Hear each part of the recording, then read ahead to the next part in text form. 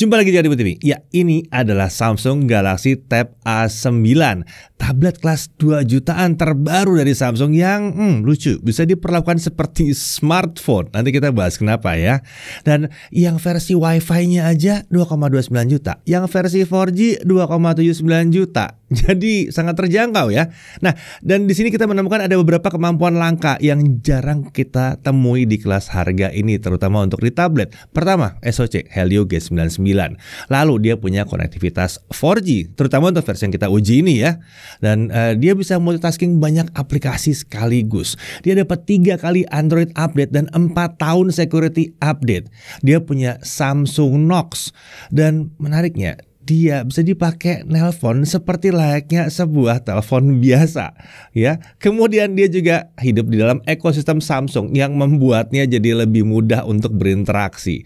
Ya, melihat kemampuannya mungkin bisa dibilang ini tablet Android yang susah dicari lawannya untuk kelas 2 jutaan. Tapi tentunya ada baiknya kalian tetap pelajari dulu apakah tablet yang satu ini emang sudah pas untuk kebutuhan kalian atau belum.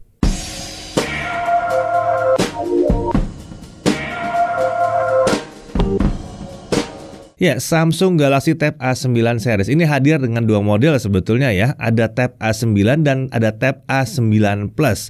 Dan yang kita bahas di video kali ini adalah yang Tab A9.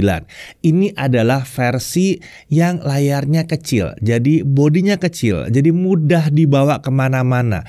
Tadinya kami mengira bahwa si Tab A9 ini adalah penerusnya Tab A8, tapi ternyata bukan. Menurut Samsung, Tab A9 ini adalah penerusnya Tab A7 Lite. Kemudian kalau penerusnya Tab A8 itu adalah yang tab A9 Plus. Nah, baik tab A7 Lite maupun tab A8 itu udah kita ada review juga loh sebetulnya. Udah pernah nonton belum? Kalau belum, kayaknya kelewatan. Mungkin karena belum subscribe. Yuk, di subscribe dulu dan nyalain loncengnya supaya nggak ketinggalan ya. Oke, kita lanjut lagi. Untuk tablet kelas A ini memang ditujukan untuk kalian yang mencari tablet Android kelas terjangkau dan ya mungkin juga butuh yang ada seluler 4G-nya. Tapi kalau kalian ingin lebih hemat dan nggak butuh yang ada konektivitas 4G, ada juga yang versi Wi-Fi-nya. Bedanya hanya di konektivitas saja. Untuk spesifikasi sisanya itu kurang lebih sama lah. Nah, kita lihat dulu isi boxnya ya. Pertama-tama kita lihat ada unitnya, kemudian ada kabel USB-C di sini, ada SIM ejector dan ada dokumen. Simpel banget ya, seperti smartphone atau tablet Samsung lainnya. Uh, sayangnya di sini nggak ada chargernya. Iya emang sih yang ikutan pembelian tanggal 25 Oktober sampai 5 November 2023 itu dapat gratis charger. Saya kita belum tahu apakah akan ada promo bundling charger lagi setelah itu atau enggak. Jadi benar-benar diperhatikan aja tawarannya ya. Siapa tahu Samsung akan memberlakukan melakukan bundling charger lagi atau bahkan ada toko-toko yang membanding dengan charger. Siapa tahu ya. Tapi by default nggak ada chargernya. Nah, untuk dari segi desain dia cukup sederhana, nggak ada yang aneh-aneh. Back covernya polos, warna hitam seperti ini. Nah, bagian frame dan back covernya ini jadi satu kesatuan ya. Untuk warnanya, untuk yang satu ini hanya graphite atau hitam. Dimensi 124,7 kali 211 kali 8 mm. Jadi ya nggak terlalu tebal-tebal amat juga. Untuk bobotnya ada di 332 gram untuk yang WiFi dan 333 gram untuk versi LTE. Nah, untuk standar tabel dimensinya ini terhitung compact dan masih nyaman sekali genggam dengan satu tangan seperti dari tadi saya pegang ya. Nah, dilihat dari posisi kamera selfie-nya, orientasi penggunaan tablet ini memang lebih ke arah vertikal atau berdiri ya, seperti pakai smartphone pada umumnya. Oke, sekarang kita lihat ke sisi kanan. Ada mikrofon di sini, lalu ada tombol volume dan tombol power. Lalu kalau di atas ada grill speaker di bagian atas ya. Di sisi kiri ada SIM tray hybrid yang bisa untuk single SIM plus 1 micro SD up to 1 terabyte. Ya. lalu untuk di bawah ada headphone jack 3,5 mm, ada USB-C lagi dan ada grill speaker. Ya, jadi speakernya stereo ya. Kuota sendiri udah lumayan oke okay lah ya. Suara cukup bagus untuk kelas harganya tapi jangan dibandingin sama yang Tab S series, beda kelas banget speakernya. Nah, beralih ke belakang, di sini ada kamera utama beresolusi 8 megapiksel dengan kemampuan merekam video sampai dengan 1080p 30 fps. Nggak ada LED flash di sini. Lalu kalau beralih ke depan, di bezel atas terdapat kamera selfie 2 megapiksel dengan kemampuan merekam video 720p 30 fps. Dan Perhatikan ini, yang menarik sekali di atas kamera ini ada earpiece. Ya, ada speaker untuk kita kalau mau dipakai nelpon sih. Jadi ini benar-benar seperti smartphone berukuran 8,7 inci layarnya ya. Jadi kita bisa nelpon dengan posisi benar-benar seperti nelpon pakai HP biasa. Nah, bicara soal layarnya, ini adalah layar 8,7 inci PLS ya. Ini layar sekelas IPS ya. Resolusinya 1340 kali 800 pixel yang rasanya sih oke-oke aja mengingat ya layarnya ini 8,7 inci. Ini bukan yang 10 atau 12 inci. Untuk refresh rate di 60 Hz.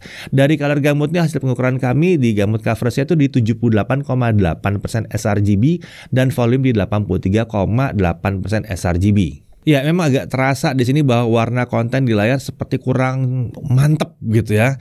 Tapi bagi kami selama bukan untuk editing konten yang butuh akurasi warna tinggi, harusnya sih nggak terlalu masalah. Untuk baca buku, untuk nonton video ya, layarnya cukup-cukup aja ya, nggak sampai yang membuat sakit mata atau terlalu pucat-pucat banget, nggak juga biasanya kan kalau layar IPS yang di laptop yang kurang oke okay itu adanya di kisaran 60-70% sRGB. Ini masih 80-an masih oke okay lah. Nah, dari segi kecerahan layar, maksimum brightness yang kami dapat ada di kisaran 500 nits baik di mode manual brightness maupun auto dengan simulasi outdoor. Brightnessnya itu maksimumnya memang tetap di kisaran 500 nits. Ini udah cukup terang untuk indoor, dipakai saat siang terik matahari juga masih cukup kelihatan sih sebetulnya. Terkait touch sampling rate ini belum ada info dari Samsung tapi selama pemakaian kami belum merasakan ada delay-delay yang mengganggu gitu. Nah, untuk kalian yang penasaran apakah layarnya ini bisa untuk S Pen, sayangnya enggak ya. Kita udah coba pakai S Pen yang ada di kami tapi nggak berfungsi di layar ini. Tapi kalau mau pakai stylus universal harusnya bisa sama dengan semua HP atau device yang pakai layar sentuh lainnya ya bisa gitu. Cuma memang tidak dapat presisi seperti kalau pakai stylus S Pen itu. Nah, untuk spesifikasi internalnya SoC-nya pakai pakai MediaTek Helio G99. Ya, kalau yang dulu pakai Uni SoC T618 sekarang pakai Helio G99. Nanti kita lihat peningkatan seperti apa ya kalau kita benchmark ya. Nah, untuk RAM dia pakai 4 GB dan storage-nya ada di 64 GB. Sayangnya ini nggak ada varian RAM dan storage yang lain, hanya ada 464 aja. Tapi jika butuh storage tambahan kan bisa pakai micro SD. Setidaknya untuk file-file multimedia seperti foto dan video dan beberapa aplikasi untuk nonton film lainnya kan bisa nyimpen ke micro SD itu. Bisa terbantu lah ya. Nah, saat pertama kali dinyalakan, storage-nya itu yang bersihnya untuk internalnya itu yang bisa dipakai ada di kisaran 40 GB. Sisanya udah kepake untuk sistem dan juga untuk beberapa aplikasi bawaan. Nah, lanjut untuk baterai. Ini adalah baterai 5100 mAh ya. Untuk charging dia support sampai dengan 15 watt. Nah untuk sensor dia lumayan banyak ya accelerometer, geomagnetic sensor, light sensor, proximity sensor dan sayangnya sih untuk gyroscope belum ada di sini. Tapi di sini menarik ada geomagnetic sensor berarti harusnya untuk GPS bisa nanti kita tes ya. Lanjut untuk security-nya dia pakai face unlock di sini dan di sini ada juga Samsung Knox ya mantap. Sayangnya emang fingerprint scanner uh, belum tersedia di sini. Untuk OS dia pakai One UI 5.1.1 ini udah Android 13. Nah terkait update OS Samsung ini uh, dijanjikan tiga kali Android update dan empat tahun security update. Ya ini mantep banget ya, panjang banget sih sebetulnya untuk harga segini. Nah untuk fitur One UI di sini ada cukup banyak, tapi memang belum selengkap tablet S series. Ya harganya juga bisa seper delapan, seper sepuluhnya ya. Nah untuk fitur-fitur menarik yang kita bisa temukan di sini, contohnya dia masih punya Edge Panel. Ini menu shortcut yang kita bisa akses dari samping layar seperti ini ya. Shortcut yang bisa kita pilih ada macam-macam, uh, seperti list aplikasi, list kontak, menampilkan weather, menampilkan tools seperti kompas, penggaris dan lain sebagainya bisa di sini. Kemudian Kemudian ada taskbar. Ini uh, fitur yang tadinya ada di tab S series tapi ternyata diturunkan juga ke tab A9 ini. Taskbar ini fungsinya mirip seperti taskbar di Windows juga. Jadi di bagian bawah layar akan terisi dengan deretan aplikasi yang bisa kita atur mau dipakai untuk app apa aja. Uh, jadi meskipun kita lagi dalam app tertentu, kita bisa manggil aplikasi yang lain itu dengan cepat. Switchingnya itu bisa cepat. Nggak perlu balik ke home dulu. Jadinya di sini proses multitasking jauh lebih efisien ya. Nah, selain dari aplikasi, ada bagian taskbarnya juga bisa menampilkan recent apps. Jadi jika ada aplikasi yang baru saja kita buka, saat keluar dari aplikasi, maka aplikasi itu akan masuk dalam recent apps di taskbar ini. Dan kalau kita butuh panggil kembali, ya pencet aja di taskbarnya. Cepat balik lagi ke situ. Lalu fitur berikutnya adalah multi Windows. Ini salah satu kemampuan yang eh, kami tidak menyangka bisa hadir di tablet Android dengan RAM cuma 4 GB. Kita bisa buka dua aplikasi dengan posisi split screen seperti ini dan kita masih bisa nambah floating windows seperti ini.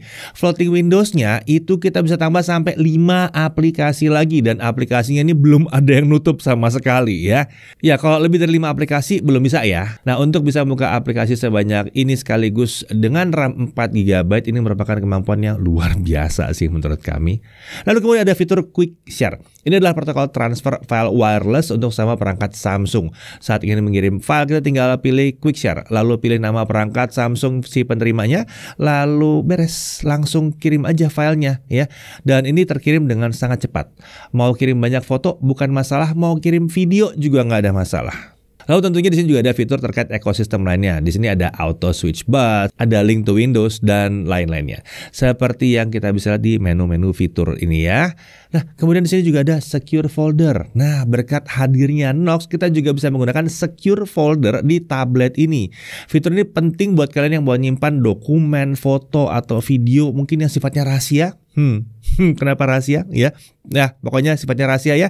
Jadi dengan fitur ini akan ada folder khusus yang hanya bisa dibuka dengan persetujuan penggunanya.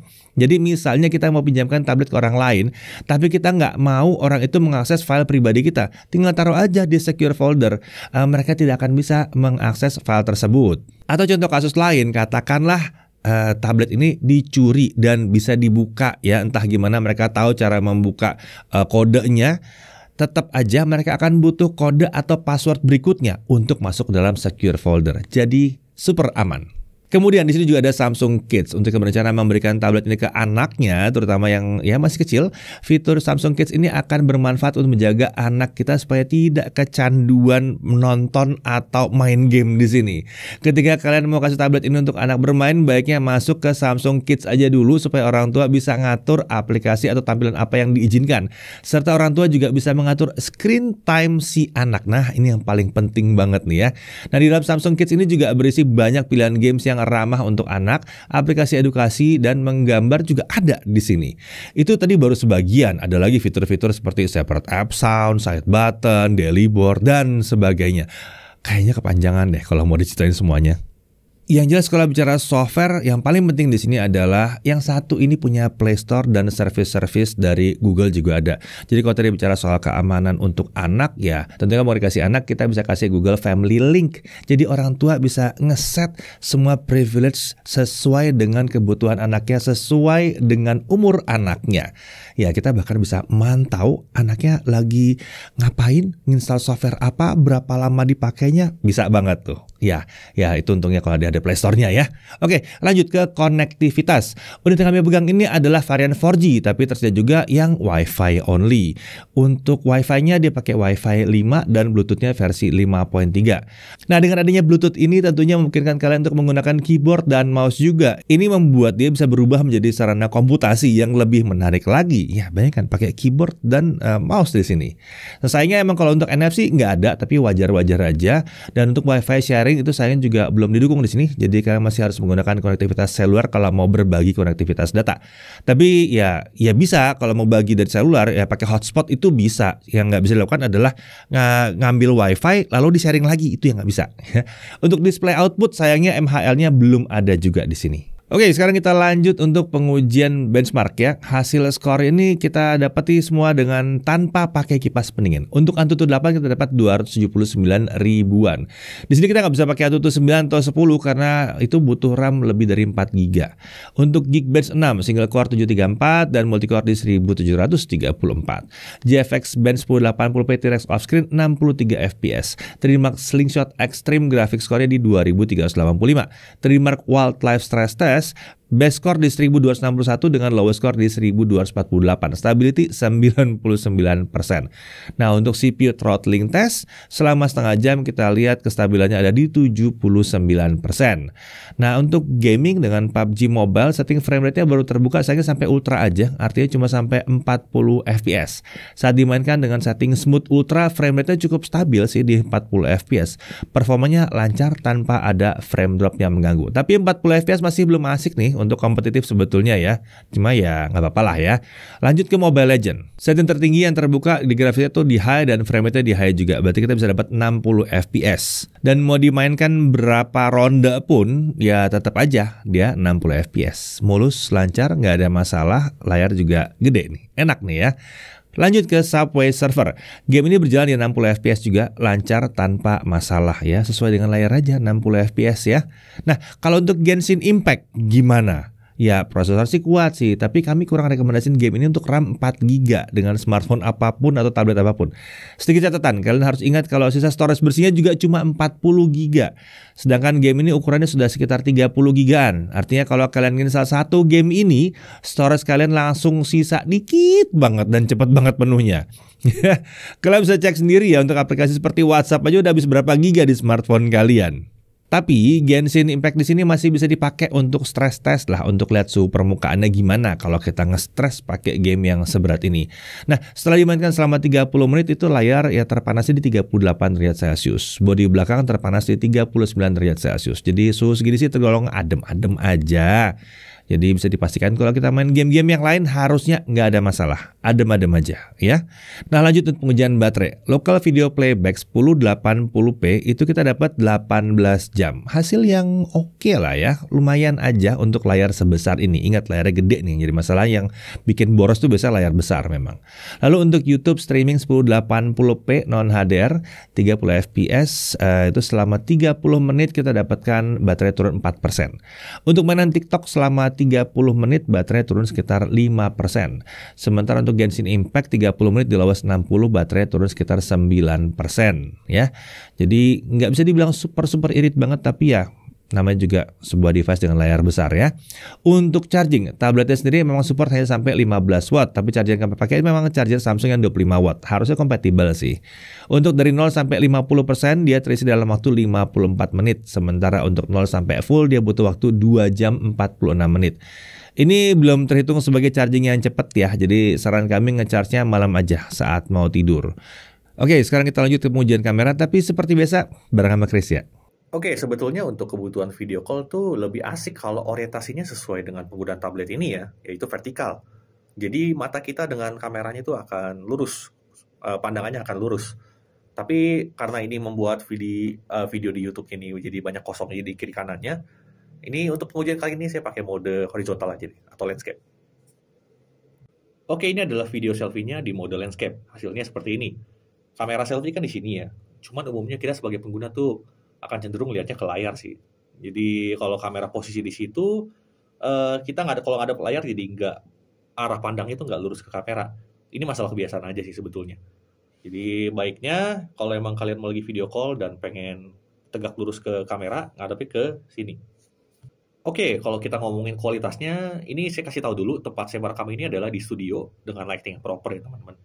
Dan saya sangat menyarankan juga kalau kalian pakai kameranya ini di lighting yang proper juga Nanti kita akan bandingin di lighting ruangan biasa juga kok. Tapi untuk sekarang, saya mau ngasih lihat, walaupun resolusinya cuma 720p 30 fps, tapi kalau kita bandingkan dengan webcam laptop, itu hasilnya jelas lebih baik dari tablet ini ya teman-teman. Mungkin editor bisa kasih lihat di sebelah sini mungkin ya kasih split screen biar teman-teman bisa lihat kalau misalnya kamera dari tablet Samsung Galaxy A Tab A9 ini tuh lebih baik ketimbang webcam laptop pada umumnya walaupun sama-sama 720p 30 fps. Ini sama-sama di lighting yang proper BTW sedikit tips juga supaya pencahayaan nggak gelap terang gelap terang atau kurang konsisten teman-teman bisa kunci sebetulnya. Kalau kayak gerak-gerak kayak gini kan teman-teman bisa lihat tuh lightingnya kadang bisa gelap terang sendiri berubah-berubah pencahayaannya itu tinggal di tap aja di layarnya.